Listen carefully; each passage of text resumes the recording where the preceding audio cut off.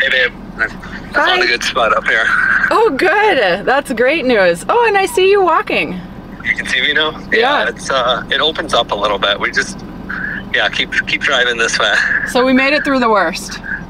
Yeah, we made it through, and there's a decent little spot up there. It's pretty busy here. It's you know it's Friday, so it's one of those rules that we got to live by that we shouldn't show up on Fridays, but we did. All right. Well, that's good news. When I was only 17, I took a can of gasoline and poured it out in between all this pain and suffering.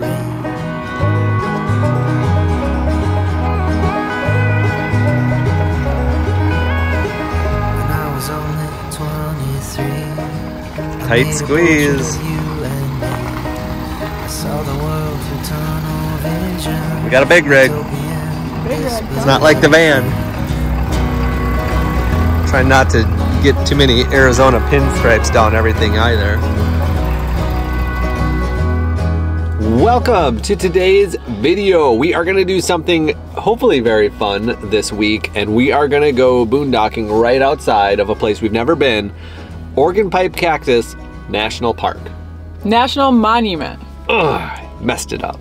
Organ Pipe Cactus National Monument is such a unique place. We've never been there before. I've seen a ton of pictures, but supposedly this is the only place in the United States where these Organ pipe cactuses grow wild.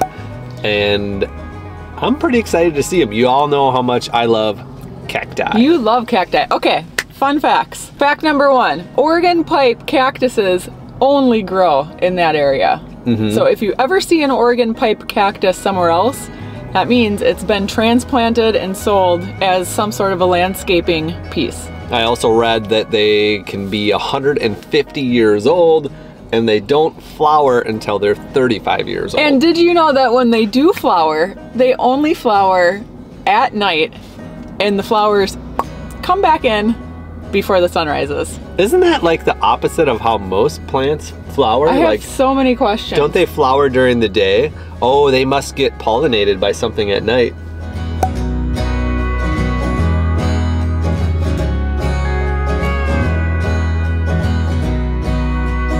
And we are finally done with our few obligations that we had early in January. So the Xscapers Bash in Lake Havasu was very fun. Chris did some great presentations. We met a lot of people, had a lot of fun there. And then of course, Quartzsite had its big annual tent show. So we stopped by there for just a couple days. It was fun to see it. It was really busy and really, really happening this year. It was really exciting because it was banging. It was the first time since pre COVID that the big tent show felt like pre COVID. It was back to its original attendance. Mhm. The desert boondocking outside of Quartzsite was packed. It was so packed. Crazy packed. But So still easy to find a spot. Yeah. So we uh, went to Yuma and just hit up a little RV park for a few days and just kind of recouped, did laundry.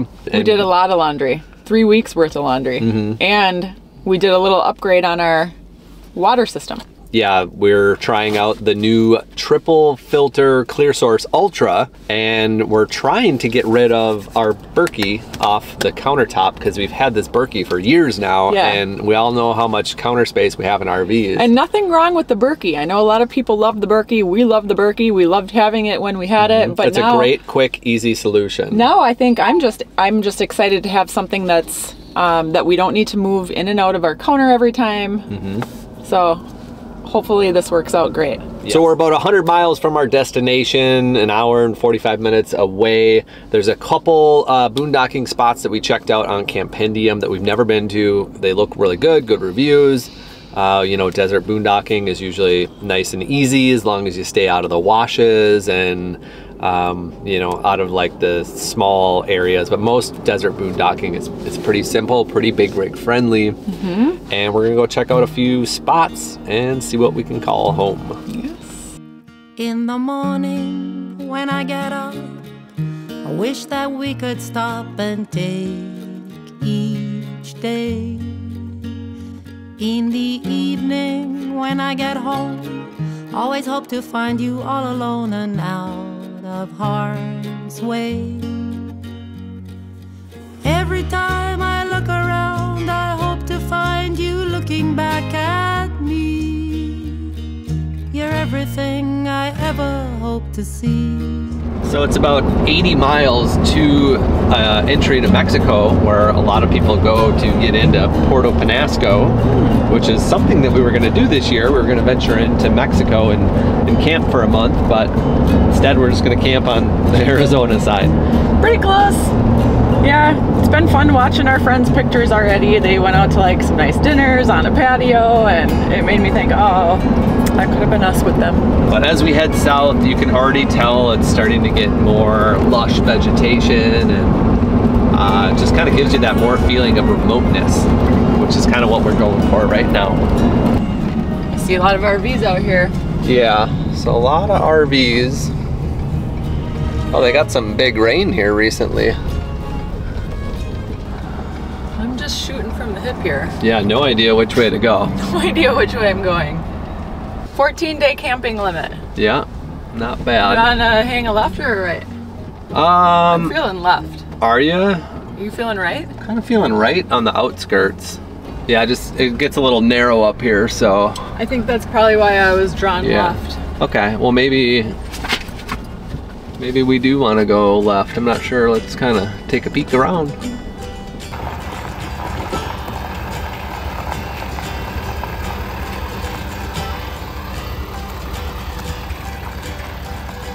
Tight squeeze. Really tight back here. We maybe shouldn't have taken this turn. These are like super kind of spines on them and uh, are gonna scratch pretty bad and it's just a tight turn around here. These things are vicious.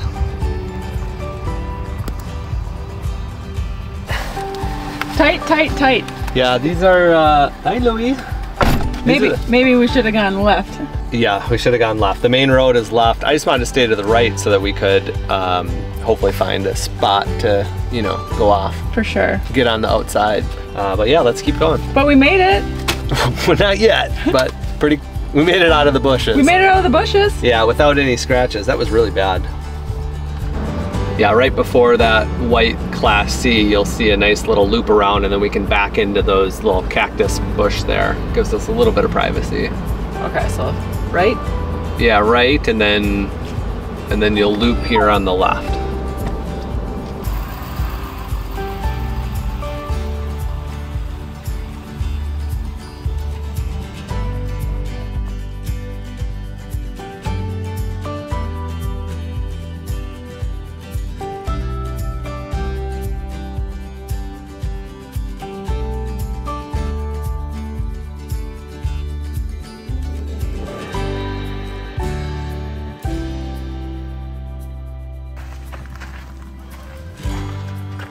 Home home. Good boy. Okay.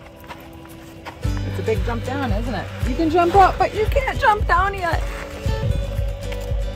Okay. Should we go check it out, Louise? Should we check out your new yard? So, not a bad spot.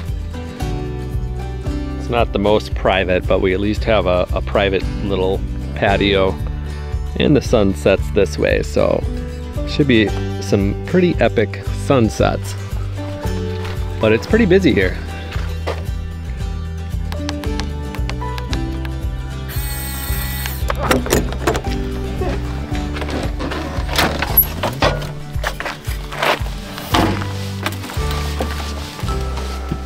Home sweet home.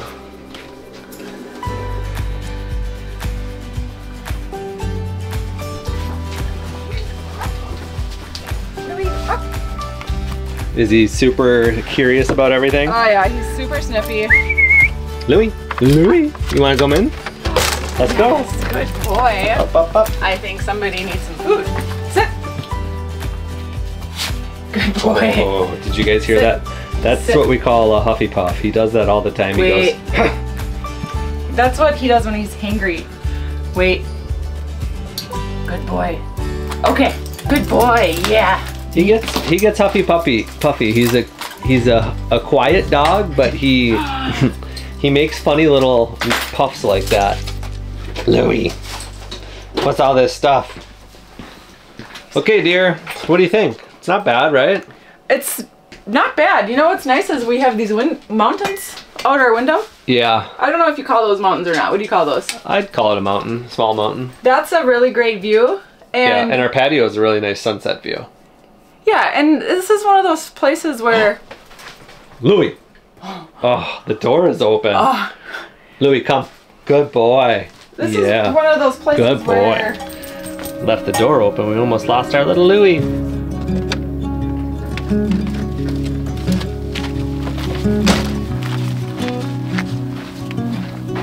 All right, the setup begins. Now we have the big Clear Source Ultra triple water filter. So this has to go somewhere, of course, and it kind of needs to not be packed in or tucked in. So, um, just kind of slide that off to the side. Louis' feet washing water bucket.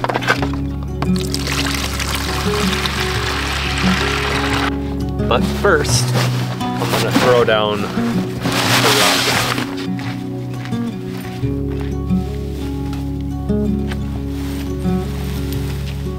Next, to the table. Well, actually, I gotta get the chairs out.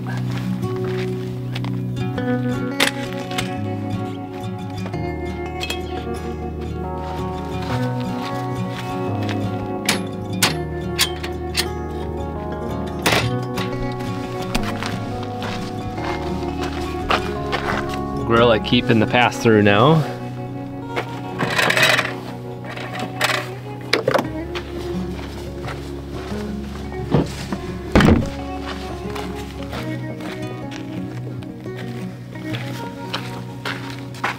Onboard propane hookup.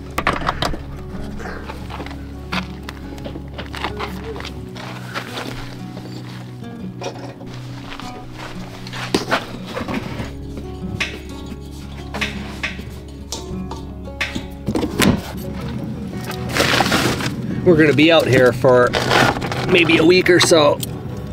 So I think I'll use the hitch lock. So we don't always put the hitch lock on, really nice feeling to have it on. They're kind of expensive as I mentioned before, a couple hundred bucks, but worth it.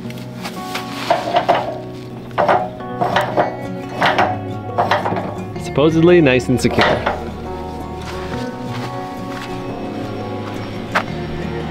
That's it, that's set up.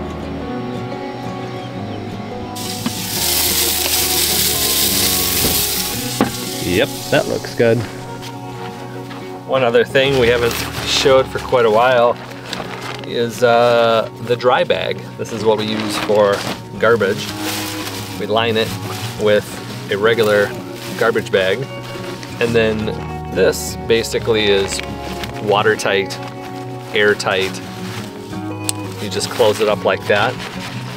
And no smells, no spills. We used to use this in the van all the time. And we even started doing something similar for Louis' little poop bag. So Louis has his own little bag. Just like that.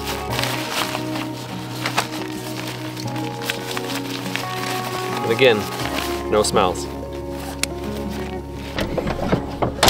Yeah, 10 minutes should be perfect for these little chicken thighs. They look delicious. first thing first.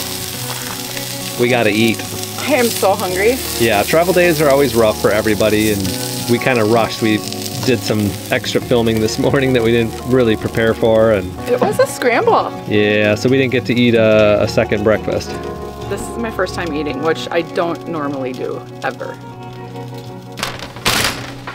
Smells really good. So what's the rest of the meal? Okay, so we have some air fryer veg, of course. And we have some brown rice and black beans. Hmm, Looks pretty good. Air fryer for the win and the grill together. Can't beat it. pretty it's quick, just the too. most convenient thing. So I do veggies in the air fryer and then I do rice in the microwave. Everything orchestrates at the same time and then it's like a full-blown this is this is what our meal number 3 and meal number 4 look like of the day. We normally have 4 meals a day. The first two are generally more breakfasty and the second two are more lunch and dinner. However, all of my formulas kind of look like this. Aaron's are different. Mm-hmm. I'm rambling a little bit because I'm so excited to be here and I'm starving and I'm ready to eat. Let's eat. Take a seat. Yeah, the view's not bad. I rate this uh, site as like a five or six so far. It usually grows on me. I'm always kind of like, eh, I don't know. It's not perfect. And then by day two or three, it's like, okay, I like it. Yeah, you are kind of like standoffish at snobbish, first. Yeah. boondock snobbish. Well, there's just a lot of people here, and and now that we have a 50 foot rig, we can't go back down the trails. Really, I mean, we don't want to spend hours trying to find the perfect spot, so that can be frustrating. That can be frustrating. Yes. All right. Thank you for cooking. You're welcome.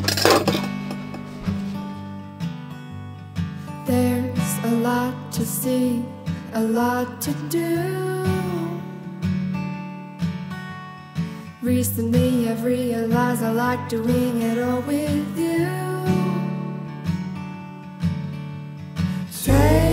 My hand, twirl me around, hold me close, don't ever put me down.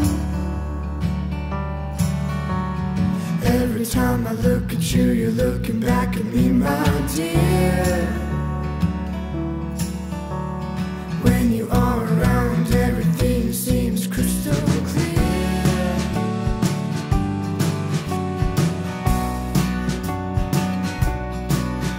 So we are about one and a half miles from where we camped, and the road kind of turns very narrow like this through a wash. And basically, you just, you know, if you have the right capable smaller rig, you can you can go pretty far out here and be all by yourself. It's really pretty out here. It's very private and the cactuses are amazing out here. Yeah, super pretty. We're going on uh, Louis' big three mile walk in the morning, and then we have 14 miles to do for our race. And um, we're thinking about taking Louis off leash right now. We've been experimenting with that, and he's done really good. Right? He has done. He's done excellent a few times and he's done he's lost his trust a couple of other times. So we just keep trying and keep trying to trust him because if we don't trust him, he'll never get there. Yeah. And right now, so Louis, you know, we walk him on leash, obviously. He's been pulling worse and worse since he's been uh, a puppy. So that blue thing is called a gentle leader, and it basically uh, is a different way to, um, you know, help stop them from pulling. Louis, leave it. Just like this is a front harness leash that also helps stop pulling. So when he gets to a certain point, it moves his whole chest. Um, but after Okay, he hates this thing. after a while, he's definitely learned how to just pull right through that, just like a regular harness. So, and then on the neck collar, uh, he also pulls very hard on the neck collar. So this gentle leader here goes around his uh, snout and to the bottom of his chin, and so it moves his whole head, and uh, it works really, really well. But of It course, does. of course, he hates it because it. it's around his nose. Because it, it prevents him from pulling, so he hates it. Yeah. So So we're gonna try. yeah, let's try him off leash. It. Yes, good boy. Wait. Wait. Okay, let's go.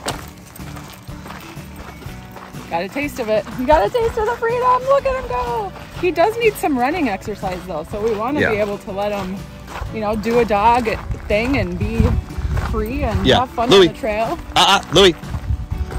Let's go. He's gonna have a little bit of energy. Yeah, he hasn't had some. Louis. Good boy. Plus, we're in a new space, and he always, every time we go to a new location, he gets really stimulated by smells. Yeah. And Good boy. Come, come, come get your, here, get your treats out. Come here, Louis. He does a good job of checking in. Louis, come. Yes, good, Good boy. Yes. Good boy. Good boy. Sit. Yes, good boy. Yeah. Okay, let's go. We just gotta keep keep practicing, keep training. Louis. Louis, come. Louis, come. Come on. Louis, come. Come. Lucy, stop. Louis, come. Come on. Come on. Good boy, Louis. Good boy. Boy. Yes. Good boy. Sit. Good boy. You know what he reacted to that time was when I crouched down and Yeah, he likes that. Okay, let's go.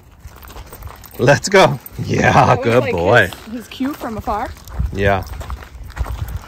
Good boy, Louie. Yeah.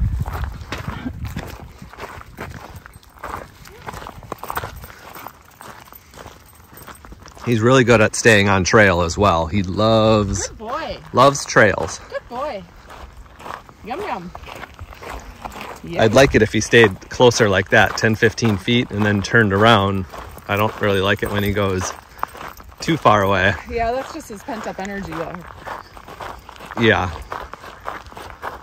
Watch him stop and turn. Yes, Louie. Good boy. That's a check-in. Good boy. Louie.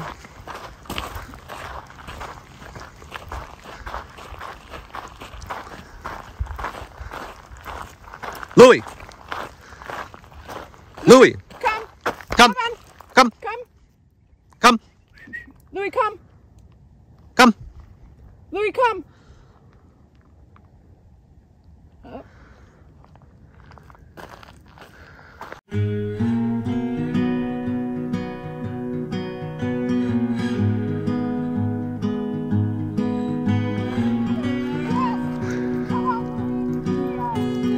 Look at how happy he is. Yeah. Louis, let's go. Come on. Let- come on. Get a treat. Good boy. Sit. Sit. When Louie was a young puppy, a trainer was at a dog park and she said you have to trust your dog. You gotta let him make some mistakes and you gotta trust him.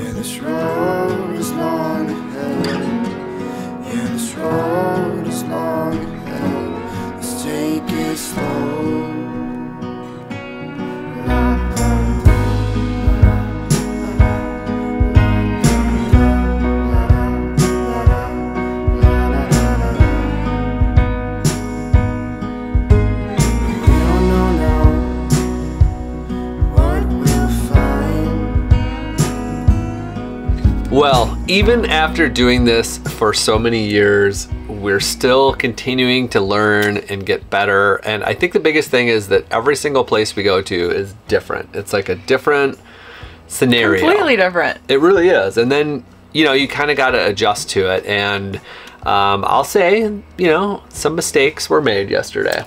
I disagree. I don't think any mistakes were made. It was perfect. Oh, except for we should have gone left. Yeah.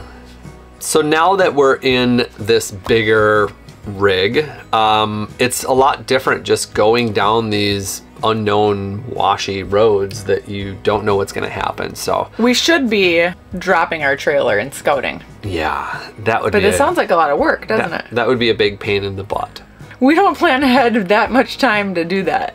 So a couple months ago, we actually found a new home for our e-bikes that we've had for a while. The full-size e-bikes that we had on the rack on the back. Some of you have noticed that uh, they're not on the back of the RV anymore. And that's because we sometimes like to switch it up a little bit and try some different things. The full-size e-bikes were awesome for our lifestyle for a long time. And with the addition of the truck and the trailer and the addition of Louis, it's kind of changed a little bit. So we're thinking about doing something smaller, something lighter, something more foldable, perhaps. I think with the hitch, okay, so because those bikes were so heavy and they were on the hitch, when they were on our trailer, we found ourselves using them less because we have our truck. When And the puppy was a big thing when Louis was growing. Yeah. But when the bikes were on the van, same hitch, same weight, but the difference was we really needed those bikes then. So it wasn't a debate on do we bring them down or not. Like it was just they came down in a motorhome it was a lot different without a vehicle. Yes. And, then and then it just changed in this setup. Yeah, and it's not like it's a huge deal, and there's plenty of different scenarios that they really do work great. Um, but it would be kind of nice to have something really quick and easy to just, you know, grab out of the back of the truck or out of a slide or something like that, where you could just you know, within a matter of a minute, just be down the road and kind of searching for the right spot. Uh, even today, this is interesting. We saw a truck kind of driving around and I didn't think much about it besides I saw him on one side of the wash over here, and then I saw him over here.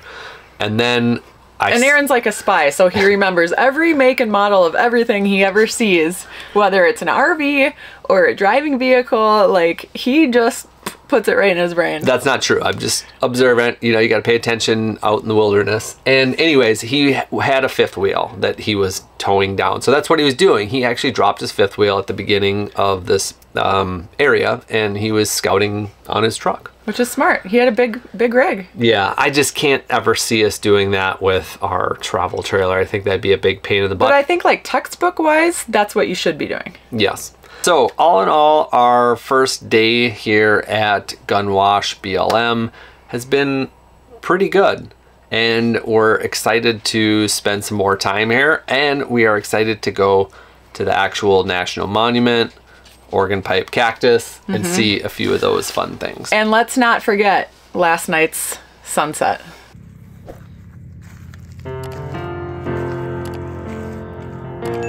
Pretty magical out here. It is a special time of night where we're making more of an effort to come walk during the sunsets because this is so calm out here and so enjoyable. Even the hum of the generator is not bad. It's, it's actually making I'm me happy. not overreacting. It's beautiful out here. This ain't just a blip on the map. The show has been canceled and it's not coming back. Don't tell me to breathe easy. Don't tell me it'll be fine. Cause we have